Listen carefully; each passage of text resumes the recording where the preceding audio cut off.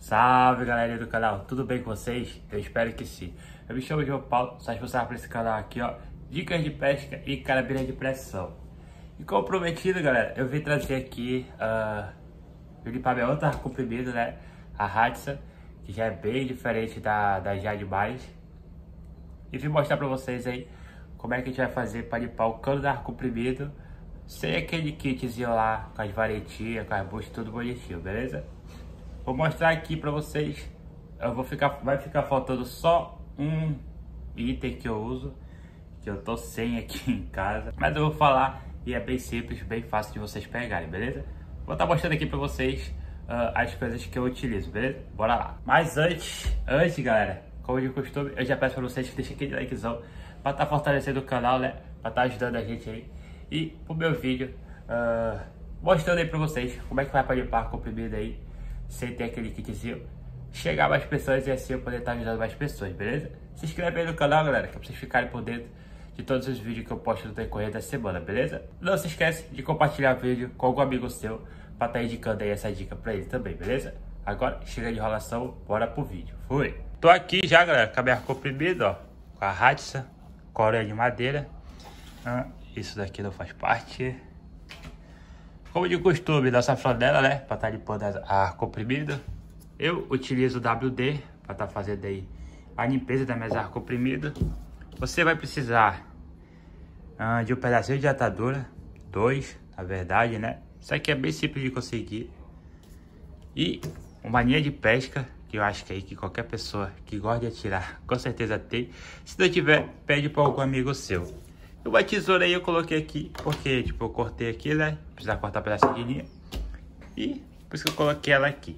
E o que vai ficar faltando, galera? Vai ficar faltando ah, o óleo de peroba. Ou qualquer outro material aí que vocês gostem de utilizar para limpar a madeira aí, beleza? Eu uso óleo de peroba, um pouquinho só, que é para não deixar excesso, beleza?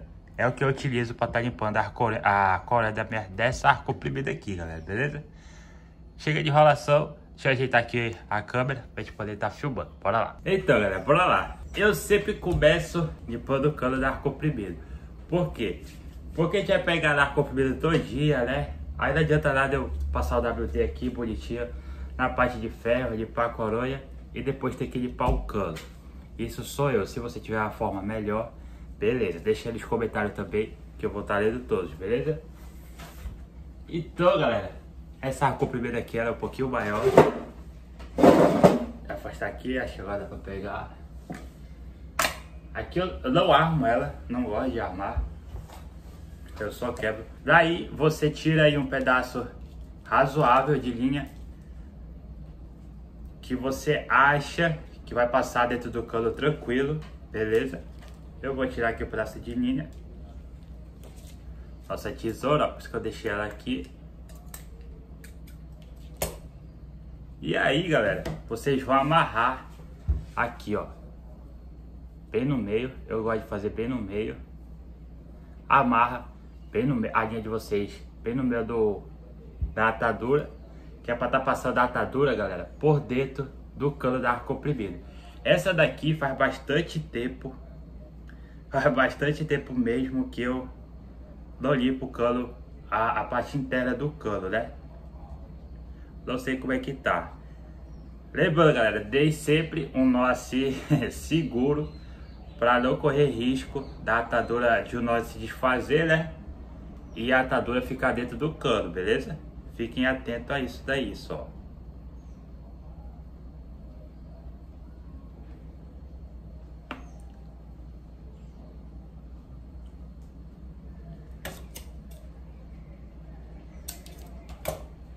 Eu já dei o nó aqui, ó, nozinho simples.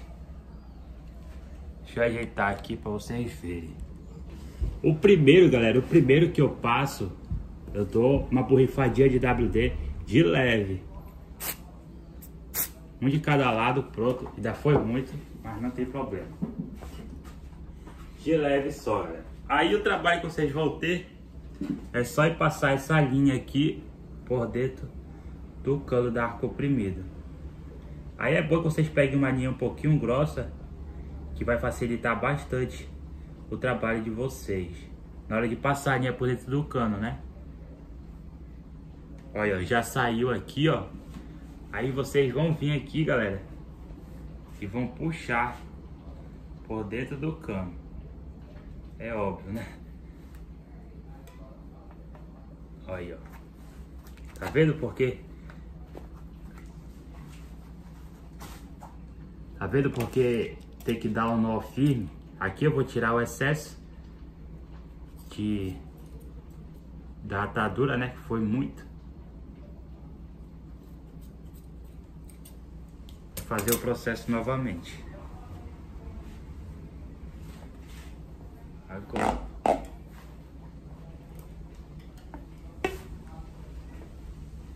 Olha só como saiu, galera. Olha só como tava sujo o cano da minha comprimida, olha. Aqui. Olha só, galera. Tava bastante sujo. Tava bastante sujo mesmo. Depois eu vou tirar uma foto aí pra tá postando, beleza?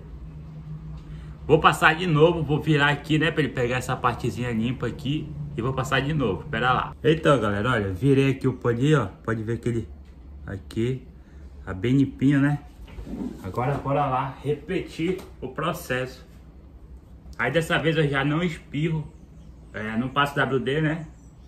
Eu já coloquei da primeira vez, então não tem necessidade.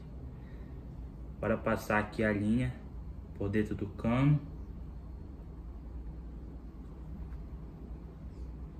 Esse, aqui, esse processo aqui se torna até mais rápido do que com a varinha. Já saiu a linha, ó. Aí você pega, puxa aqui vem puxando. Saiu. Olha só como... Deixa eu virar aqui a câmera que é melhor para vocês verem. Olha só o tanto de sujo. Aqui dá melhor para ver. Olha só o tanto de sujo que ainda saiu, galera. De dentro do cano da cor primeiro. Essa daqui fazia bastante tempo que eu não limpava. Saiu bastante sujo. Agora, galera, eu vou tirar essa atadura daqui, né? E vou passar essa daqui seca. Que é para tirar o resto de resíduo que ficou dentro do cano, se ficou, né? E para tirar o excesso do óleo WD que tá aqui dentro, beleza? Vou agitar as coisas aqui e já volto com vocês. Bora lá, galera. Olha aí, ó. Já troquei a atadura aqui, ó. Pode ver que a atadura tá bem limpinha. Agora vamos passar ela aqui por dentro, né? Do cano da minha comprimida.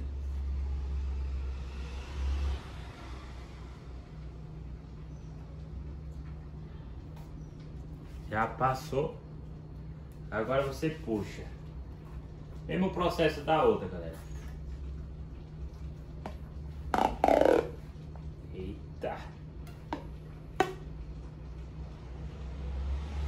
Olha aí, galera. Já saiu. Ainda saiu um pouquinho de sujo, ó. Como vocês podem ver, né? Sai um pouquinho de sujo, mas bem pouquinho mesmo. Então, galera, primeira parte do cano, da parte interna, foi limpa. Agora vamos para a parte externa. Isso daí vocês já sabem como é, né? Vou fazer aqui bem rápido, só para reforçar o vídeo anterior. Lembrando que eu não gosto de montar minhas ar comprimidas. Eu monto, eu monto já, eu limpo elas montadas, sem tirar a coronha da ferragem, beleza? Deixa eu ajeitar aqui o celular e já volto. Agora, galera, o processo aqui para fazer a limpeza externa é praticamente a mesma coisa. Eu passo um pouquinho de WD pela flanela e veio passando aqui na, na parte da ferragem da comprimido é para deixar aquela camada de proteção aí e tá evitando o ferrugem, né? Lembrando que aqui na minha região tá chegando inverno, então o cuidado com a cor bebida tem que ser maior devido à frieza, né? Aí sempre é sempre bom você estar tá olhando a sua bebida, por mais que ela fique no lugar bacana aí, sem, sem umidade, né? É bom você estar dando uma olhada aí pelo menos toda semana. É como eu faço na minha. Ela tava limpa. Eu tinha limpado semana passada, se eu tô enganado. Só faltava fazer a limpeza mesmo do cano, que tinha bastante tempo que eu não limpava. Aí aproveitei e fiz o vídeo. Aí aqui, galera, dá um conselho, eu vou pegar o, o excesso que ficou do WD, né? Na flanela e veio passando na coronha. Eu dou um aconselho vocês fazerem isso. Aí tem bem pouquinho, não danifica nada não. Isso é só quando tá aí, só quando eu lotei o mesmo o óleo de peroba, aí eu passo passo da coronha dela. Mas o processo é esse. Eu só queria mostrar para vocês mesmo como fazer a para de par uh, o cano, né? Se vocês não tiverem aquele kitzinho para de par comprimido por dentro. Mas olha só como ficou, galera.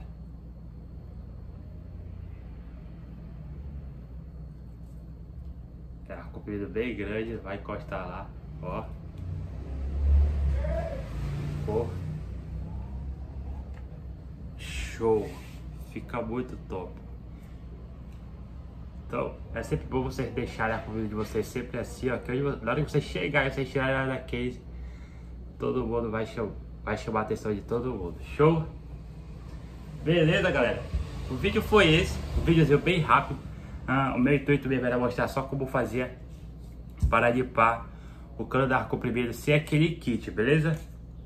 Eu espero que vocês tenham gostado. Eu espero poder ter te ajudado, né? Porque algumas pessoas não têm ou não fazem questão de comprar o, o kitzinho para estar tá fazendo a limpeza interna do cano da ar comprimido. Então, não esquece aí de ter uma atadurazinha uma linha de pesca que você faz o, a limpeza do cano da sua ar comprimido rápido e de uma forma bem simples e econômica, beleza? Se inscreve aí no canal, galera, que é pra vocês ficarem por dentro de todos os vídeos que eu venho postando no decorrer da semana, beleza? E de todas as dicas que eu venho trazendo para vocês. Lembrando que se você faz de uma forma diferente, se você limpa sua ar comprimido de uma forma diferente, deixa aqui nos comentários que eu vou estar tá lendo.